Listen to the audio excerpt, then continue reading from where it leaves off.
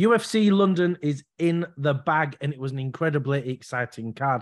Mark and I are going to go over the fallout of UFC London. But before we do, if you're new here, make sure you subscribe as we have brand new videos every single week. So, Mark, let's start with the main event. Our boy Tom Aspinall finished Marcin Tybura in the first round. Is this what you expected? It's what I expected initially when the fight got announced. I was like, I was thinking Tom's just going to slice through him. The closer it got to the fight, I thought, well, you know, it's his first fight back in over a year after the injury. How's he going to cope? All this, you know, like Marcin Tybura, you know, he is a top 10. Tom didn't take him lightly, but the initial thoughts turned out to be true. Tom sliced through him. He made yeah. quick work of him. He was so much sharper, so much quicker, so much power. And that right hand that put Martin down, Jesus Christ. Yeah, I mean, it, it, it's what we expected, right? We'd we'd predicted and bet on Tom to win by first round knockout, and it seemed so obvious. But you're right, like there was a slight hesitation. I was concerned about Tom coming back. He's put on all this extra muscle. He's been out for a year. He's come off an injury sometimes that can be very very risky right? It's, it can be you know some people return from injury and they're never the same again and luckily that's not happened to tom and he's come back even better. It seems in some way this injury was the best thing for him. It's like he's he's he's changed his complete mindset right? He never seemed to be looking too far forward into the future but talking of his future, at the end of the fight, he said he's gonna go for the Gane versus Spivak fight, fight the winner of that, and then go for Jon Jones. How is it exciting, Matt, to see Tom Aspinall move up those heavyweight rankings and see him in a heavyweight championship fight? Well, like we were saying in the live, it's extremely as a fan because we've seen him come from the prelims of a fight night during the pandemic when there was no one in the arena to now be one win away from a title shot. You presume that's the way that it's going to go as well. It depends on what happens with Sergey Pavlovich. But you literally called it. You said you want him to fight Gane. If after Gane, presuming that he beats Spivak, you might get your dream fight in the bag, Dwain. I mean, Gane versus Aspinall, it really does shake up these heavyweight rankings. It's nice just to have a fresh face right up in title contention in heavyweight, isn't it? Because it's been a, bit, a little bit lackluster for a few years now but it's really yeah. getting spiced up, especially with how easy Tom made it look against Marcin Tybura.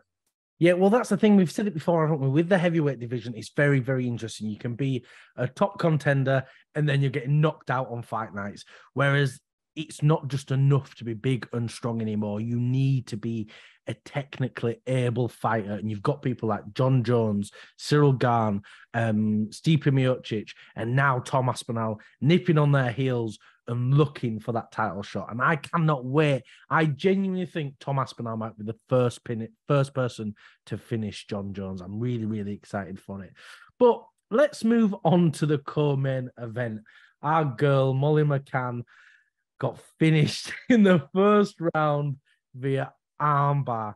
Um, to be honest, it was one of those things where you were kind of expecting it and not expecting it. It, it felt like it could go either way because that Julia, whatever her name is, um, it, you know, she'd come off all these losses and we thought, oh, well, she's just getting fed a can here.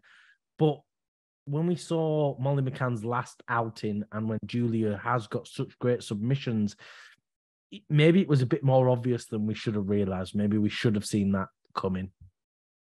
That's the thing, but you know, don't forget people are emotionally involved as well. They're emotionally invested in these because it's a UFC London. We've got another English fighter on there, another British fighter, should I say.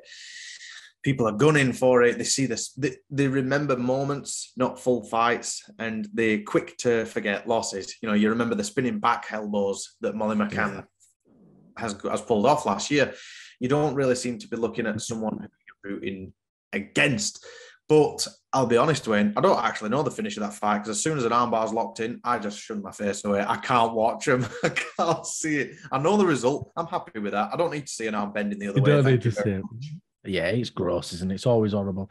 And the thing is, Molly kind of rolled into it. It was really bad. I think, you know, unfortunately, Molly's grappling is just not good enough at this level. You know, she she's great against other strikers, and she's shown she's got fantastic hand speed, good level striking.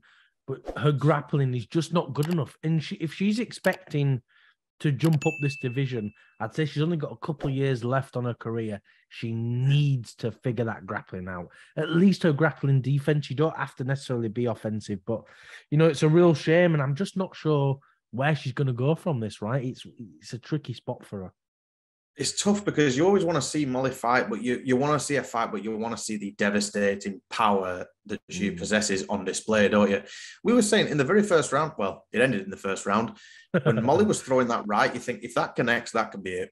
But as yeah. soon as it gets to the ground and you see the you see where Julia's legs were positioned, where her body was positioned, especially against the fence, Molly turned over into an armbar, but against the fence, there isn't a lot you can really do, is there? You know, like like I said, I turned away anyway, Dwain, so I'm not actually sure. And I'm quite happy not watching the finish of that fight. Yeah, I don't blame you at all. But a fight that I felt should have been finished a little bit earlier, and I may have complained about it about 50 million times during our live stream. We have Nathaniel Wood versus Andre Fili. Nathaniel Wood got the decision win, but it was an incredibly exciting fight with a real big back and forth. It felt like it was kind of like the Midas touch, the death touch. Like whoever just managed to get each other's chin, they just kept dropping each other all the time. It was a really, really exciting fight. Do you think this was kind of a sleeper fight on the card, Mark? Yeah, definitely. Um, and it's it's nice to be pleasantly surprised with a fight like that as well, because like you said, it could have gone either way at any point as well. Uh, in immediately, I think within the first what thirty seconds, Nathaniel Wood was down, straight back up like a whippet. But you know, it was back and forth, back and forth, and he had that huge moment as well where he got him down. They weren't. I I kind of fell a little. I wasn't hundred percent in agreement with you in that sense because they weren't completely unanswered strikes.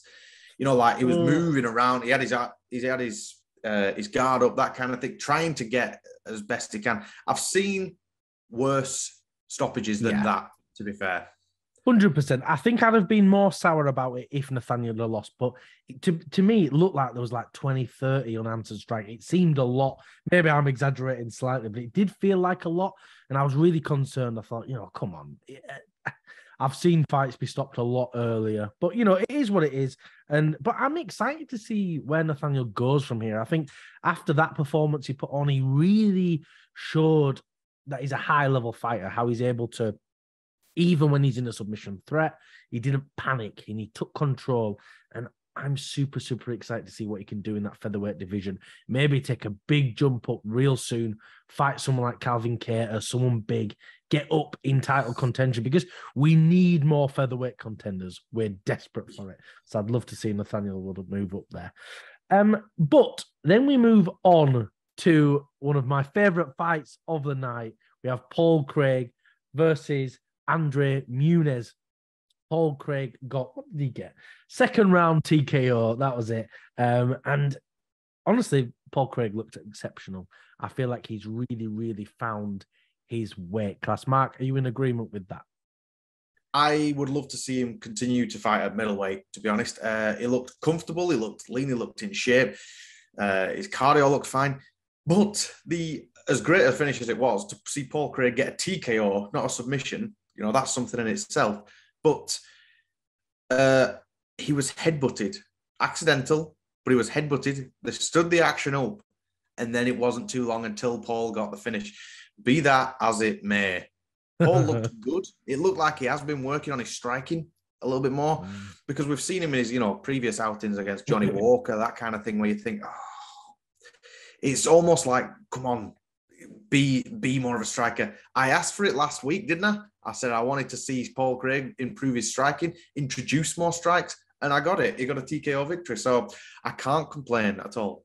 Yeah, 100%. And he doesn't even have to necessarily be a fantastic striker, but he's got to have good striking defense. If you're um, a heavy grappler like that, you need that ability to defend yourself. And he was getting some big takedowns as well in the middle of the octagon.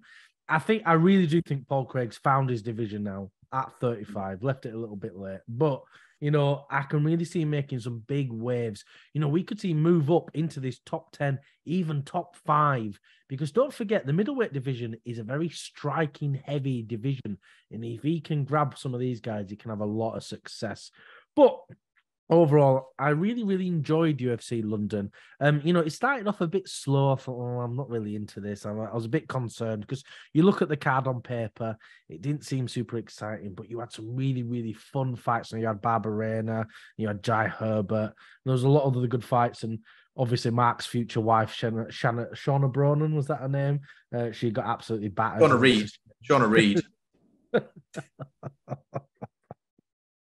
but either way, it's a really, really good card. Um, and I'm looking forward to the next event for UFC 291 next week. Make sure you check our predictions that'll be going up on Monday night.